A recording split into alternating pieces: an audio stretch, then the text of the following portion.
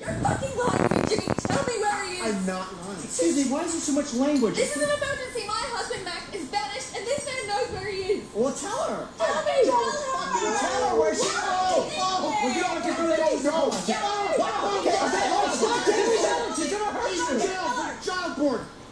No, I'm not lying. I don't know where he is. No, no, no, no, no. Come on, I'll let you get down, Dad. Jimmy. Hold on. Hold it. Hold on. No, okay. Uh, here, here, fuck it.